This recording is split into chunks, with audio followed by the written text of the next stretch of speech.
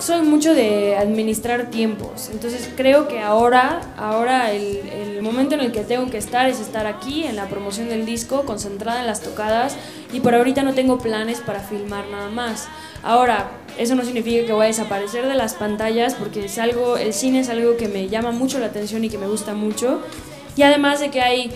creo que cuatro películas que todavía no se estrenan en las cuales yo he participado, como El Brasier de Emma, como Enemigos Íntimos, que estuvo en el Festival de Cine de Guadalajara,